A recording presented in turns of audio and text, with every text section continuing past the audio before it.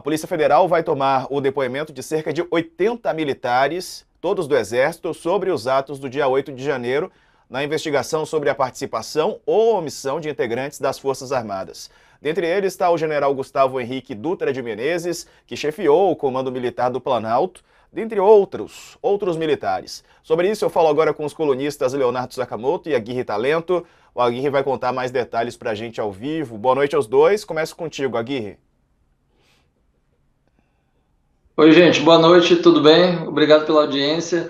Então, é, nós mostramos hoje no UOL é, que a investigação da Polícia Federal sobre os atos antidemocráticos do 8 de janeiro começa finalmente é, a se afunilar sobre a participação ou omissão dos militares do Exército nesse, é, nesses atos de depredação e destruição dos três poderes. É, isso demorou um pouquinho, porque primeiro foi necessário pedir autorização para o ministro Alexandre de Moraes.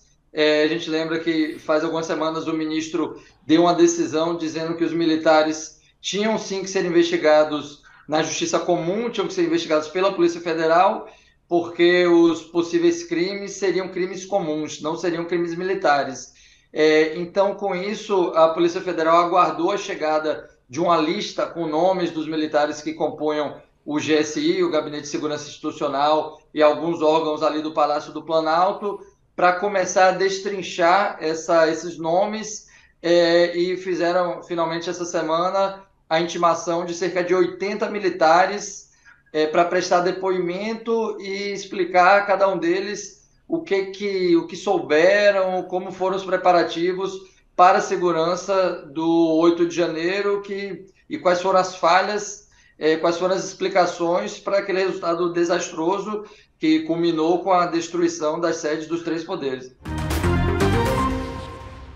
Eu acho que está posto. Tem muita gente já nas redes sociais, eu estava checando, gente em bases bolsonaristas dizendo é um absurdo, olha retaliação contra militares. Nada disso, gente. Isso aí é bolsonarista fazendo bolsonarice. O que, que acontece é o seguinte: está bem claro, o próprio Supremo Superior Tribunal Militar disse que questão que não tem a ver com a vida militar, o dia a dia dos militares, as ordens, as incumbências, as funções militares, não é para ser julgado. Eles até concordaram né, com, o próprio, é, com o próprio Supremo Tribunal Federal. Não é uma questão militar, é uma questão comum. Crimes comuns são julgados pela justiça comum e por aí vai. E eles não estavam representando as Forças Armadas né, ao uh, contribuírem com os atos golpistas. Muitos deles estavam lá atuando como golpistas e outros como contribuindo com os atos golpistas. Né? Ah, teve uma matéria da Carolina Brito, da nossa colega aqui do UOL, é, no, no, dia 10 de março, colocando que parte da, da, da guarda presidencial serviu como fez, fez bico de guarda-costas de terrorista no ataque ao Palácio do Planalto, fez corredorzinho para os golpistas fugirem. O pessoal acabou, destruiu o Planalto e eles fizeram: não, não, não, peraí, protege. Aparece o, o comandante da guarda do Planalto. Não, pera lá. A polícia falando: como assim, pera lá? Os caras estão destruindo. Não, não, não, pera lá. Basicamente defendendo, não defendendo o bem público, mas defendendo os golpistas. Depois, também aquela outra cena pavorosa, né, de que uh, a polícia foi até o acampamento golpista em frente ao quartel-general do Exército em Brasília e o que aconteceu foi que a, a, o comando militar meteu dois brucutu, dois blindados virados não para o acampamento, mas virado para a polícia, virado para fora, no tipo aqui ninguém entra. Né? Aí deu uma justificativa mambembe de que era uma questão de segurança. Não, era para deixar o pessoal fugir, os amigos fugir mesmo. Tudo isso tem que ser investigado. Exército e militares não podem ajudar a golpista. Né? A cúpula disse que não tem nada a ver, então agora tem que se investigar para ver se tipo, quem dos outros, se oficiais ou praças, que contribuíram para o caos no Brasil.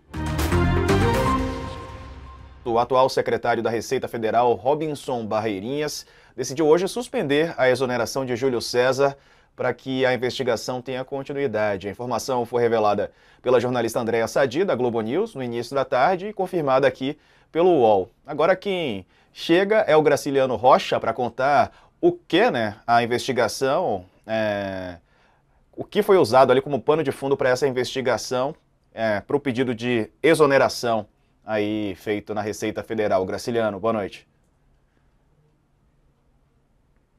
Acho que está no mudo, Graciliano. A gente não está te ouvindo aqui. Okay. Ah.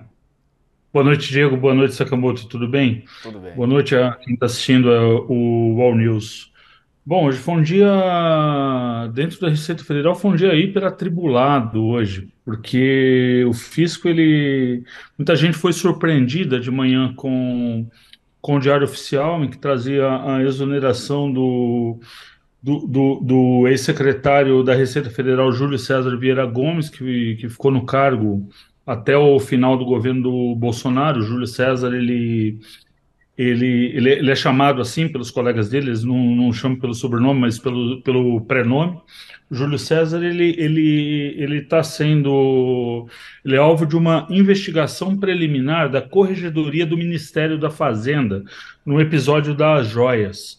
Uh, o foco da apuração, o foco da investigação sobre o ex-secretário é, é se ele teria ou não agido para tentar liberar ilegalmente as joias.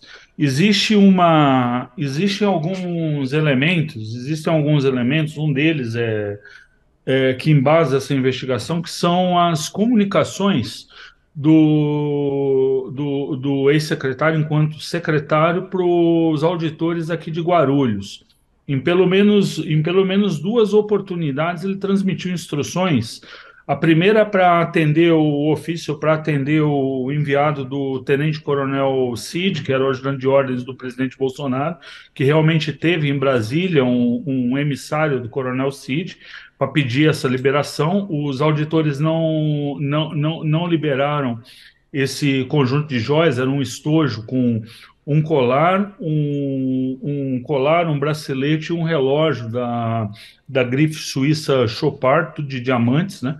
E o, o, teve esse episódio, de, de, teve esse episódio e depois da como, como os auditores se negassem a, a, a a liberar essas joias por causa de. Porque, como não, não, não tinha ido para o patrimônio da União e os impostos não foram pagos, os auditores se recusaram a liberar, a liberar essas joias. Então, houve um pedido subsequente, pelo que o UOL apurou na, na nossa apuração. Isso é uma coisa que a gente revelou até no dia 5 de março. Que foi um pedido para que esse conjunto, o primeiro conjunto de. Esse conjunto de joias femininas aí fosse fosse remetido, devolvido para o país de origem, a Arábia Saudita. O, isso, foi formalizado, isso foi formalizado numa comunicação e o, o, os auditores de Guarulhos, notadamente o delegado Demarco, que é o chefe da oitava região fiscal em Guarulhos, é, se recusou também a devolver para o país de origem por, pela prosaica razão de que não havia previsão legal para fazê-lo, ou seja, não havia não, não, ser, não, é uma, não é uma saída determinada pela lei. A saída determinada pela lei é, é paga o imposto, se não pagar o imposto fica apreendido. Ou, como se tratava aí de gente do governo, a, a, a, a incorporação pelo patrimônio da União, mas não houve esse pedido até o final do ano passado. Qual?